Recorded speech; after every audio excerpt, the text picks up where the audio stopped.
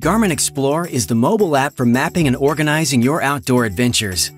In this video, we'll show you how to use the Garmin Explore app for map viewing, trip planning, and cloud storage of your favorite hikes, rides, trips, and adventures for future reference. Once you've downloaded Garmin Explore to your smartphone or tablet and paired it with your Garmin GPS handheld or wearable, you're ready to start accessing the detailed topographic maps and other outdoor resources provided through Garmin Explore.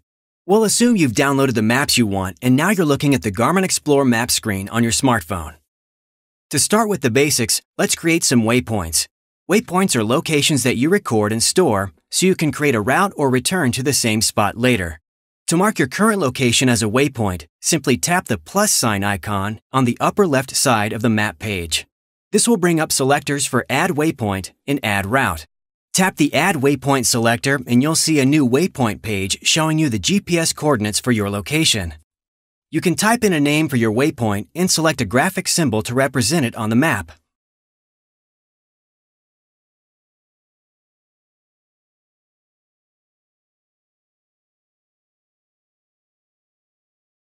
There are also on-screen cues that will allow you to edit and save the waypoint to a new or existing collection, so you'll know where to find it if you ever want to return to that spot on future excursions.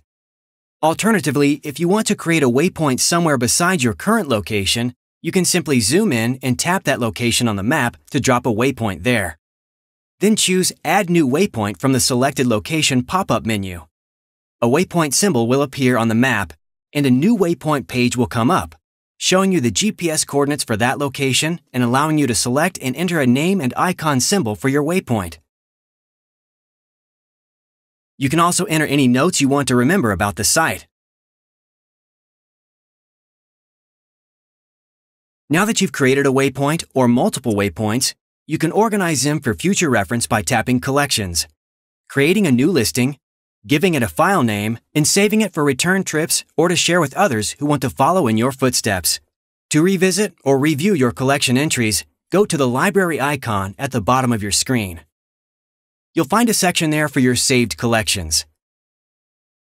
The collections list displays the name you've given to the trip, along with the distance covered and the date. You can sort the list by any of these criteria to easily locate the saved route or waypoint you're looking for. You can also plan for your next journey by creating routes in advance using multiple waypoints on your app's map page.